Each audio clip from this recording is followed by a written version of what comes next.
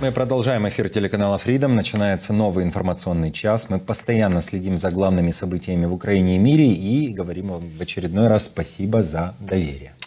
Да, 16.00 в Киеве, и ровно в эту минуту к нашему эфиру присоединяется советник главы Офиса президента Украины Михаил Подоляк. Здравствуйте, Михаил. Здравствуйте. Да, здравствуйте, здравствуйте. Итак, э, традиционно хочется с вами подвести итог недели. И есть хорошие поводы. Это и первое историческое заседание Совета Украина-НАТО, где нас хвалили за прогресс. Э, Европейский совет подтвердил начало переговоров о вступлении Украины в ЕС. Нас тоже хвалили за реформы. Украина начала переговоры с Италией о гарантиях безопасности. Тоже хорошо. Накануне состоялись продуктивные телефонные разговоры нашего президента с канцлером Германии и премьером Британии. Все уверяют в поддержке. Только, э, Михаил, почему при этом, э, при этом всем раздаются голоса, и они нарастают, что в следующем году у России появляются реальные шансы на победу в войне в Украине.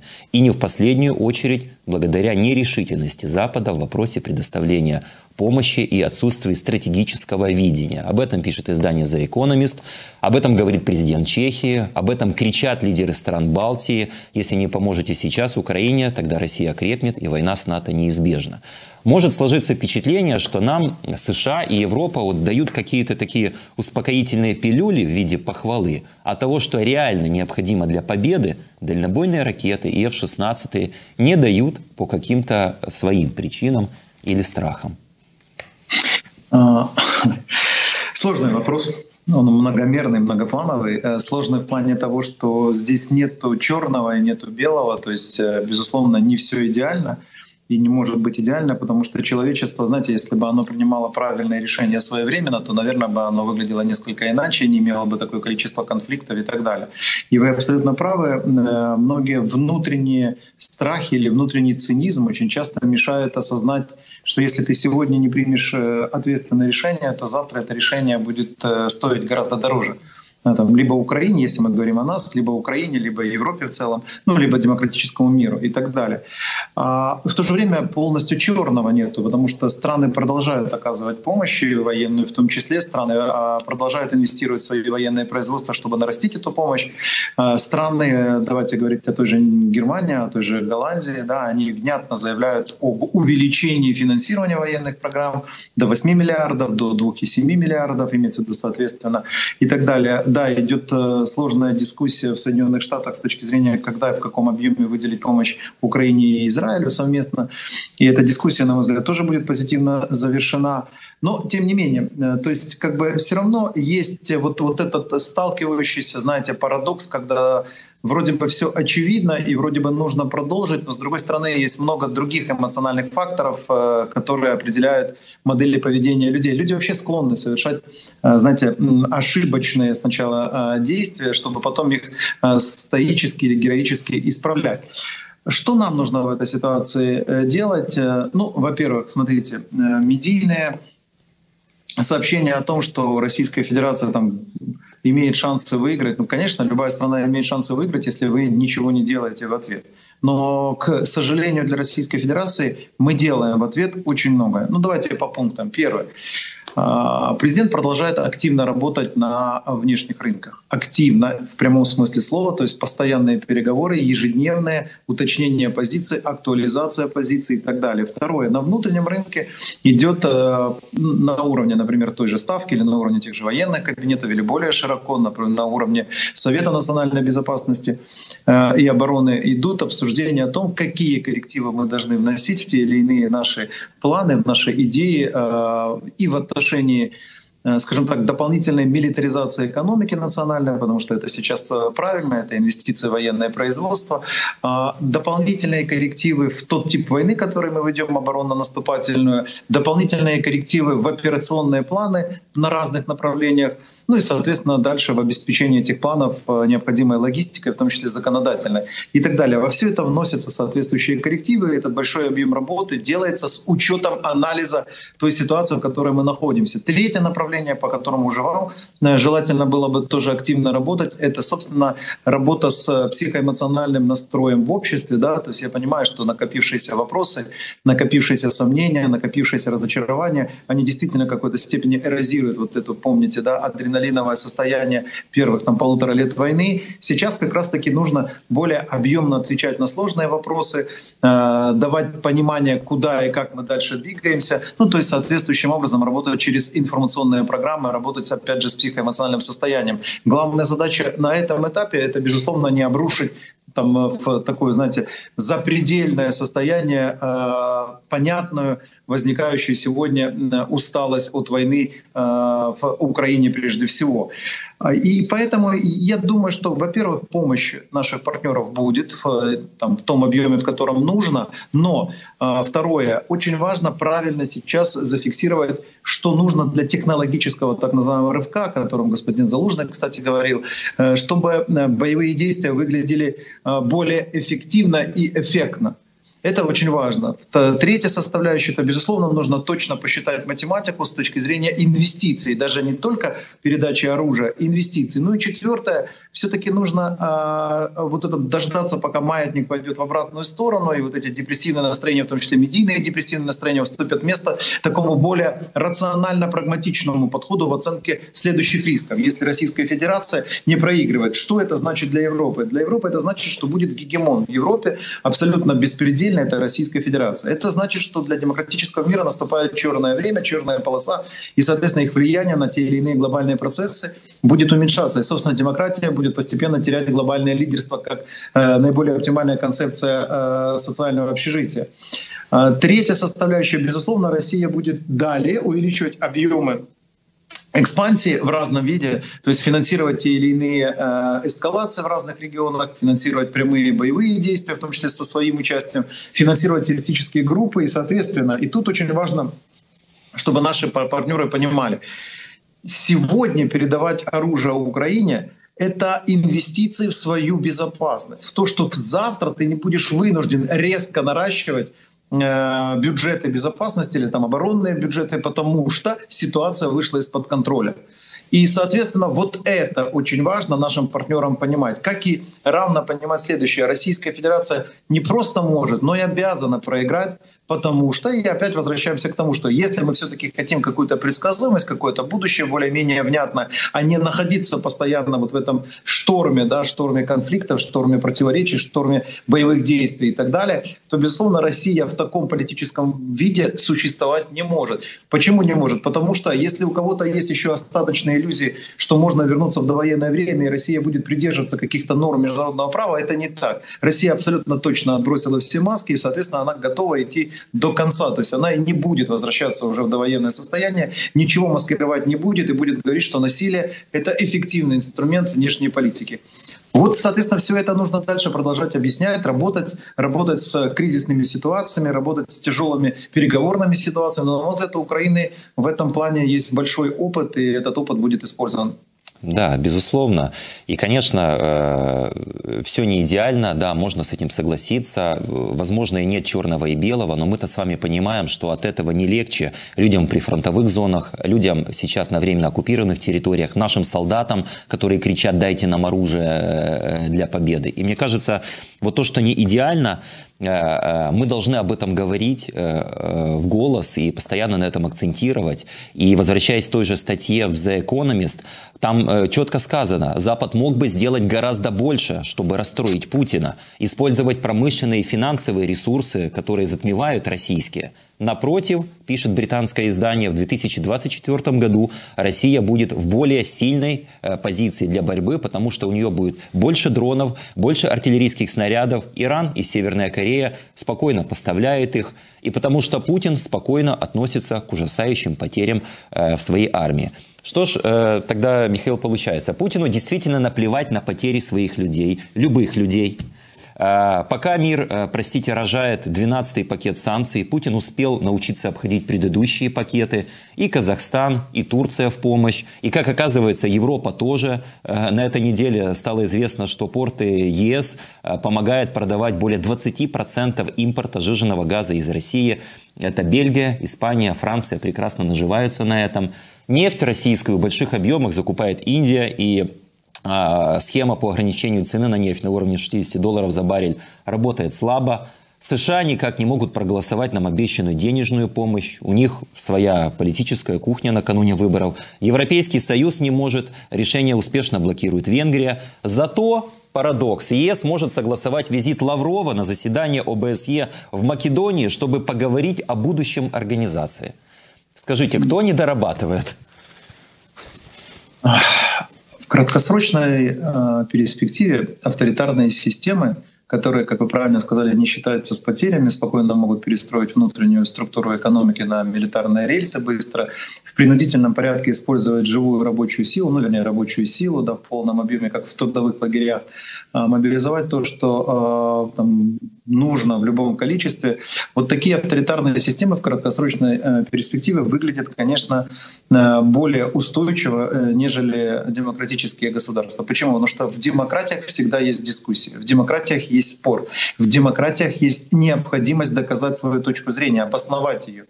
И, к сожалению, поствоенный мир, я имею в виду постялтинский мир, да, он привык к тому, что демократии в любом случае за счет дипломатических инструментов всегда удерживают мир на грани, да, то есть всегда могут доказать перспективность, выгодность экономического сотрудничества, ну или там обмена материальными ценностями, чем прямое боестолкновение. К сожалению, сейчас все это вышло из-под контроля по той простой причине, что э, Путин слишком неинтеллектуален, чтобы осознать выгоды экономического доминирования доминирования, да, то есть он разменял э, экономическое доминирование, и это была фундаментальная критическая ошибка западных демократий.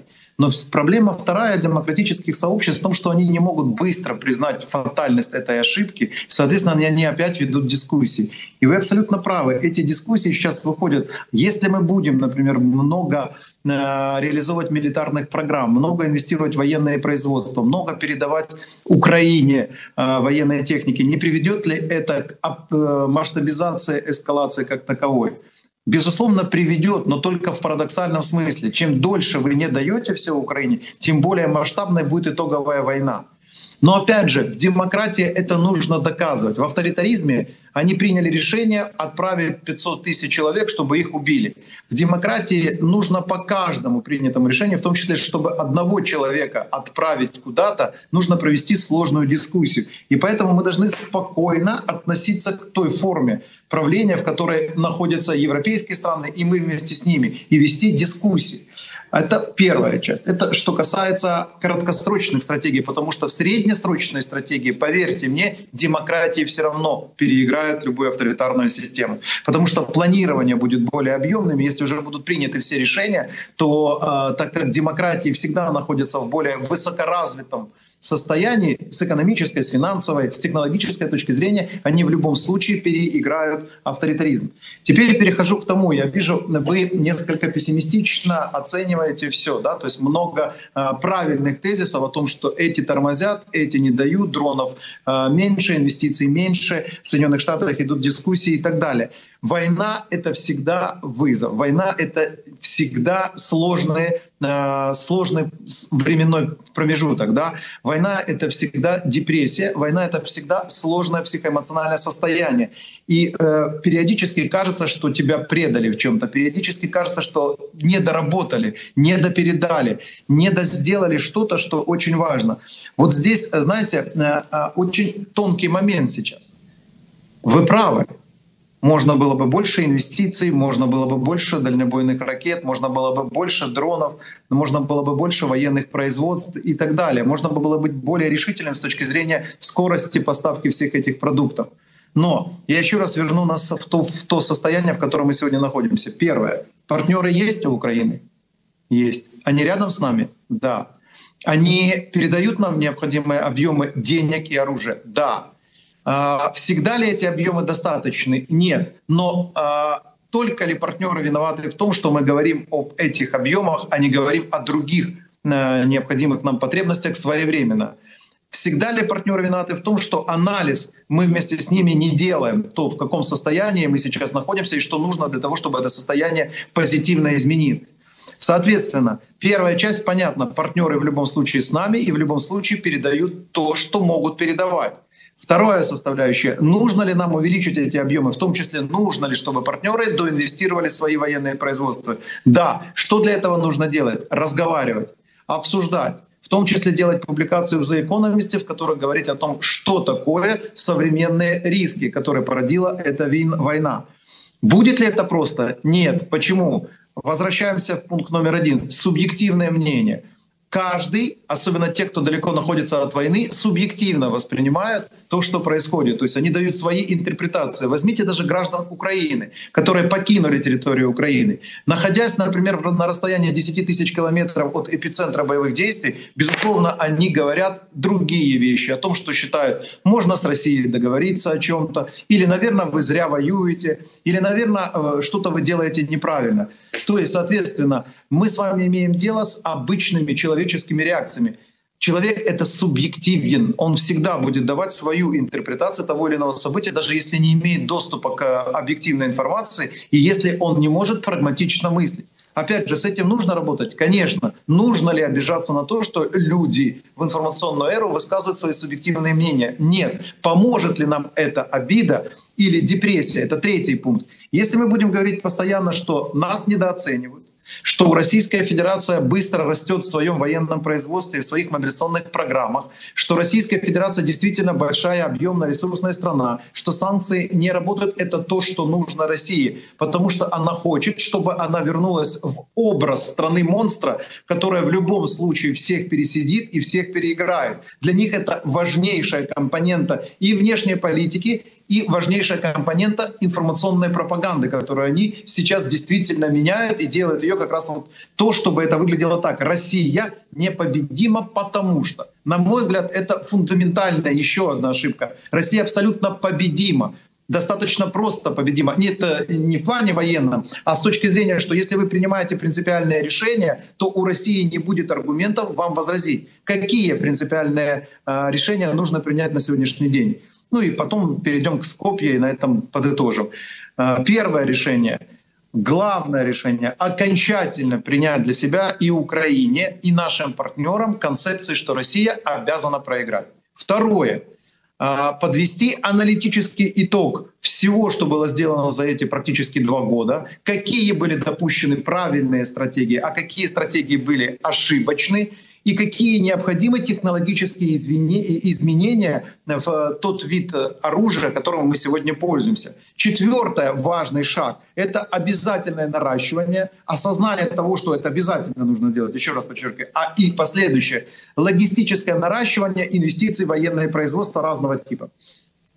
И, наконец, пятое — принять для себя принципиальное решение и Украине, и э, нашим партнерам, что вот сколько нужно потратить сегодня — ресурсов для того, чтобы Украина выиграла, а, это гораздо меньше, чем через полгода или через год или через полтора нужно будет тратить на попытку эффективно обороняться от доминирования России. Все очень просто. Теперь, что касается ОБСЕ, э, Северной Македонии, Скопия и Лаврова, абсолютно бесполезное выступление, которое не имеет никакого значения. Это проблема международных институций, которые очень долгое время были проникнуты и кадрами российскими, и пропагандой российской, и, соответственно, деньгами российскими. Эти институции никак не могут понять, что они делают. На самом деле, то, что сделала ОБСЕ, звучит, вот если без всяких там э, скидок, звучит следующим образом. ОБСЕ говорит о том, что ей нравится, это еще раз подчеркиваю, Организация по безопасности, ей нравится, когда страна нарушает международное право демонстративно и устраивает массовые убийства военные. Второе, ОБСЕ говорит, что ей нравится, что в Восточной Европе идет масштабная война. И ОБСЕ третье говорит, что оно хочет, чтобы эта война максимально жестко продолжалась дальше. Вот что сделала ОБСЕ. Но это проблема не умышленного поведения, а это проблема того, что международные институции так и не поняли их роль и место, которое они должны в современном мире на фоне войны России в Украине занимать. Это место должно быть, быть выглядеть следующим образом. Россия должна быть изгнана или ее членство должно быть приостановлено. В том числе, и это второе важнейшее, у России должно быть забрано право вето в Совете Безопасности ООН. Третья составляющая. Международные институции должны перестать предоставлять свои площадки для промоутирования войны, чем, собственно, вот этот субъект Лавров, которого вы показываете, непосредственно всегда занимается. Четвертое. Организации должны отказаться, в конце концов, от э, донатов Российской Федерации. Российская Федерация долгое время действительно увеличивала финансовые э, вливания в эти организации, потому что оно понимало, как будет их использовать в таких ситуациях. Вот сейчас мы имеем важный, опять же, период времени, когда международные институции должны либо осознать свою функциональность, как она должна работать, либо выйти и сказать публично, смотрите, а нам нравится, что украинцев массово убивают. Мы считаем, что это и есть аспект современной европейской безопасности, а не лицемерить и не говорить, что мы будем обсуждать какие-то архитектуры безопасностные в присутствии э, представителя страны массового убийцы. Михаил, я э, вот абсолютно разделяю вот это ваше сейчас прозвучало такое эмоциональное и возмущение. Да, я, я это, у меня это отнюдь не пессимизм. У меня а, вот как раз такое же возмущение, потому что я как гражданин Украины э, уже устал наблюдать за вот этими э, проблемами международных институций, да, как вы сказали. Устал наблюдать, когда э, вот эта э, демократическая дискуссия, как вы сказали, она стопорится на каком-то месте, она уже длится вот почти два года, сколько идет война, и в это время вот такие авторитарные, тоталитарные э, э, режимы, к сожалению, э, позволяют себе говорить о, э, о каких-то хороших планах на следующий год. И э, э вот опять же, э, возвращаясь к этой, э, ну вот не знаю, как, как это назвать. Вы, вы, кстати, вы говорили э, в недавнем интервью, комментируя выступление Лаврова да, на БСЕ, вы говорили, да, Россия продолжает открыто издеваться, продолжает высмеивать международное право, пренебрегать им, э, пятнать репутацию международных институтов. И говорили, единственный выход – это политическая изоляция страны террориста. Вот у меня опять не складывается, да, говоря об этих международных институциях. Какая может быть еще э, э, изоляция к той, что уже есть? Вроде изолировали изолировали, да, а Лавров выступает на ОБСЕ, то, о чем вы говорили. Изолировали, Лавров осенью выступает с трибуны ООН э, в Нью-Йорке на Совете Безопасности. Э, изолировали, э, Путин вот сейчас принимает участие в онлайн-саммите G20. Ну, вот опять же, у меня вопрос к этим институциям. Ну, где же эта изоляция? Изоляции нету. Да. Ну, давайте зафиксируем следующее. Первое, э, очень важное касается и вас, и меня, и многих остальных. А, мы не можем позволить себе усталость сейчас. Мы не можем позволить себе а, демонстрировать эту усталость. Мы не можем даже подумать о том, что а, мы устали. Это очень важный момент. Мы должны сейчас поддерживать понимание того, что мы идем туда, куда нужно дойти в любом случае. И для того, чтобы эту э, уверенность поддерживать, нужно всегда находить то, что должно людям давать надежду. Это очень важный момент для этого момента э, войны. Потому что, еще раз подчеркиваю, психоэмоциональное состояние у людей непростое. И они правы и в сомнениях, и в разочарованиях, и в ожиданиях, которые не э, выполнены. Сегодня, кстати, президент сказал о том, что, конечно же, мы ожидали от наступления гораздо большего результата. Но, тем не менее, мы продолжаем движение. Это первое. Второе, очень важно. Мы должны с вами понять, что нету никакой изоляции. Это фикция, к сожалению. Но нужно добиваться этой изоляции, правильной изоляции. Давайте возьмем санкции. Тоже нет они неполноценно работают, потому что есть очень много стран, которые хитро не присоединились к санкциям и спокойно продолжают работать. Дальше. Есть целые сектора российской экономики, которые чрезвычайно влиятельны сами по себе. Росатом, к примеру, который в Европе работает. И таким образом э, Россия через институты Росатома активно моделирует позицию той же, например, э, европейской страны. Одной из них, в которой оно строит э, атомную электростанцию и так далее. То есть, соответственно, санкции должны быть уточнены. И тут я перехожу к главному. Конечно, должно быть принципиальное решение. На мой взгляд, оно заключалось в том, что Россия должна была бы получить некий важный юридический статус да, страны спонсора террориста, который сам по себе этот статус юридический должен был бы накладывать вторичные санкции на всех, кто хочет обойти этот статус и так далее. Но, к сожалению, теперь я возвращаюсь в состояние мира. Мир слишком циничен, лицемерен и прагматичен. Мир часто интересует личные доходности на всех уровнях. И в Украине очень много людей, давайте вернемся в Украину. В Украине немного, но есть люди, которые, занимая те или иные административные должности, тоже считают, что это золотое время, когда они могут монетизировать эти должности. И, соответственно, они деморализуют общество. Точно так же и мир себя ведет. Есть возможность заработать премиальные доходы на России, они зарабатывают. Есть возможность одной рукой подписать санкции, а другой рукой отправить свои компании на более спекулятивном рынке зарабатывать, они так и делают.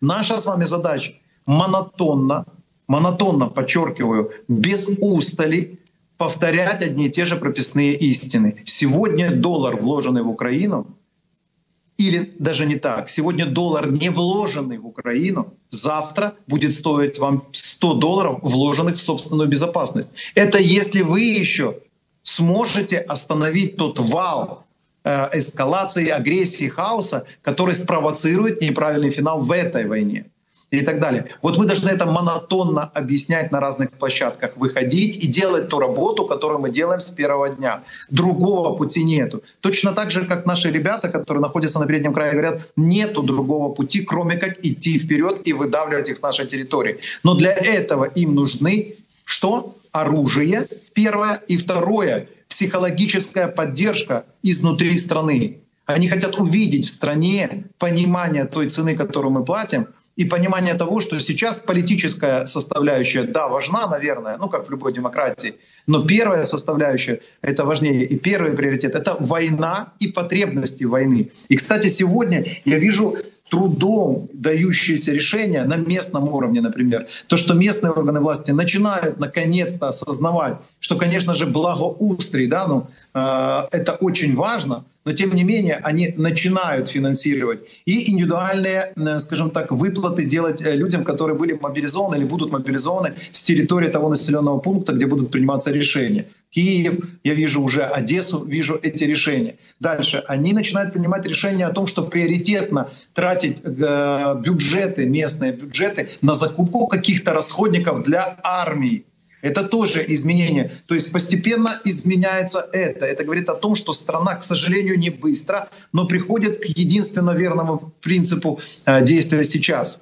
Первое — без усталости. Второе — приоритизация. Третье — двигаться монотонно по тяжелой дороге. В конце мы с вами скажем, кто, что и как сделал. А сейчас мы просто должны продолжать выполнять и объясняем партнерам риски, которые возникают, например, когда субъективно Лавров приезжает в Скопье.